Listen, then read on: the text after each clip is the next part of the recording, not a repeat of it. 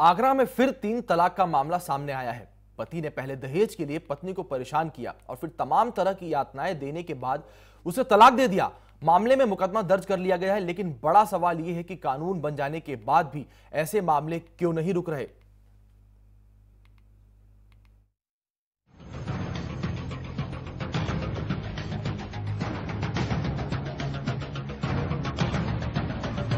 तीन तलाक पर कानून बनने के बाद भी रुकने का नाम नहीं ले रहा है। ताजनगरी आगरा में पहले तो पीड़िता को दहेज के लिए तमाम यातनाएँ दी गई। इसके बाद भी जब ससुराल वालों की मांगे पूरी नहीं हुई तो उसे मार पीट कर घर से बाहर निकाल दिया और तीन बार तलाक बोलकर तलाक दे दिया। पीड़िता ने अपने मायके में आकर ससुराल वालों पर दहेज के लिए प्रताड़ित करने और तीन तलाक का मुकदमा दर्ज करा दिया है। जी हाँ मैंने एफ़ कराई है। क्या वो था?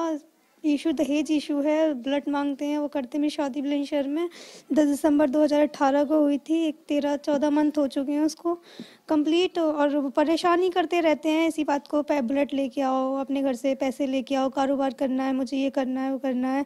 और मारते तोड़ते हैं पापा ने कुछ डिमांडें पूरी भी की हैं और कुछ नहीं भी कर पा नहीं कर पा रहे हैं तो बस वहीं से टॉर्चर करना प्रेस से चला देना और कर देना।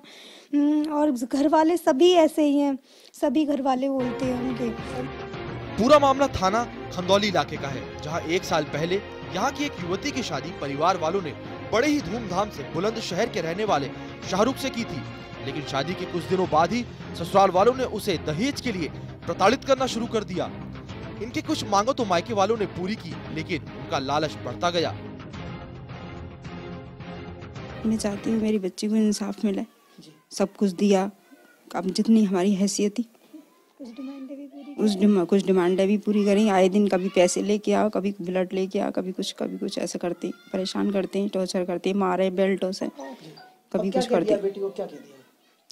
अब क्या ये कह दिया निकाल दिया घर से धक्के मार के बाहर निकाल दिया। तलाक भी कह दिया? हाँ बता रही तलाक भी कह दिया। क्या न्याय चाहती हैं न्याय चाहते हैं और क्या? ये है कि ऐसे ही होता रहेगा क्या? पीड़िता पर ऐसे जुल्म हुए हैं जिसे सुनकर आप भी काँप जाएँगे। उसके साथ मारपीट ही नहीं की गई, बल्कि उसे प्रेस से जलाया गया। वो पुलिस से न्याय की गुहार लगा रही है। वहीं पुलिस का कहना है कि सबूतों के आधार पर आरोपियों के खिलाफ कड़ी से कड़ी कार्रवाई की जाएगी। थाना खंदौली पे 20 जनवरी को एक मुस्लिम महिला द्वारा तहरीर की गई है। उसकी शादी दिसंबर 2018 में बुलंदशहर में हुई थी, जहाँ ससुराली जनों द्वारा उसे प्रताड़ित किया गया, दहेज की मांग की गई, तथा उसको मारपीट कर घर से निकाल दिया गया। तीन तलाक द्वारा। इसके संबंध में उन्होंने थाना खंदौली पर तहरीर दी, जिसके क्रम में मुकदमा लिखा गया है और कार्रवाई की जाएगी। ससुराल वालों की बेरहमी से पीड़िता डरी हुई और किसी हाल में वहाँ जाने को तैयार नहीं। पीड़िता ने पुलिस से गुजारिश है कि आरोपियों को ऐसी सजा मिले, जिसके बाद वो या कोई भी ऐसा कदम उठाने से डरे। लेकिन कानून और तमाम कोशिशों के बाद भी तीन तलाक के मामले रुक नहीं रहे हैं। यानी साफ़ है कि कुछ लोगों में कानून का कोई खौफ नहीं। ऐसे लोगों का सही इलाज भी कानून ही कर सकता है।